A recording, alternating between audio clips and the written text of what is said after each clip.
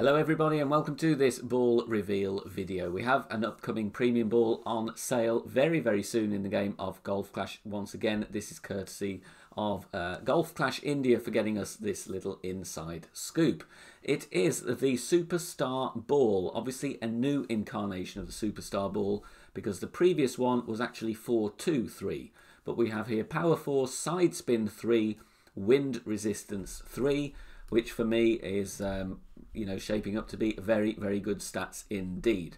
Exactly the same, of course, as the Kingmaker X from a uh, good two or three years ago, and also the uh, Champions Ball for the uh, top of the C100.